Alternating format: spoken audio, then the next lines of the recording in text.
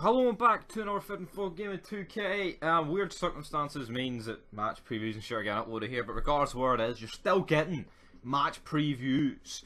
And it's Dundee taking on Hearts, league leaders Hearts now. They will be looking here to extend their league at the lead at the top to five points. Wait, five? Where am I? Is it five? Will it be? Will it be six or five? I'm not 100% sure. But regardless, if they win, they will be extending that uh, mammoth lead.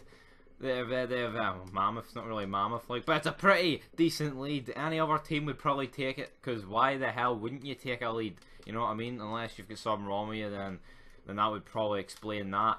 But Steven Naismith, he's been banging in the goals for fun this year.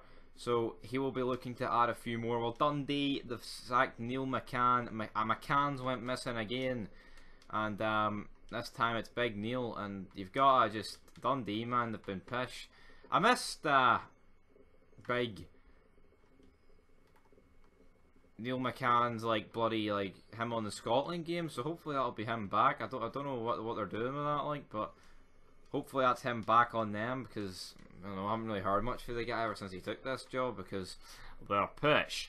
But Dundee, I expect Hearts to win here. I mean, it could be a tough game with uh, the new manager obviously coming in, Jim McIntyre, but you never really know with, with, these sort of things. Hopefully, um, it's a good game. The fucking BT have got all the Champions League on. I doubt this is going to be used on fucking Sky. I mean, it could, but I doubt that. You know what I mean? But I'm going to go with a 3-1 win the Hearts of Midlothian. Um, I don't know who's going to get the goals. You know what I mean? But hopefully it'll be good to see Hearts keep up this uh, momentum they've got going, man. Just to make the league entertaining. Like, I mean, no, you want as many teams battling just to make it as exciting as possible.